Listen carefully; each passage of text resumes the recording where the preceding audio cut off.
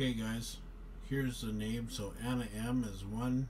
Number two is Gators World. Number three is Bill Goudy. Number four is Diva Baby Emily Thompson. Number five is Old Man Clunker. And number six is Channel 33 with Spongie. Okay, I got this random generator thing here. I'm going to click it. Number three is the winner. Number three is Bill Goudy. I will be in contact with you, Bill, to get your address.